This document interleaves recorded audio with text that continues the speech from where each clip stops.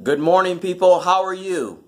Question I have for you is your goals. Are you achieving your goals? Are you looking far enough ahead of what you want? Say five years, three years, a year, say even a month from now. One of the things I realize that I have to have more vision and then turn them into goals and then make them committable with action items to accomplish them. And when you do that, you can accomplish almost anything get the goals, but most important, vision, personal and professional, and how to accomplish those.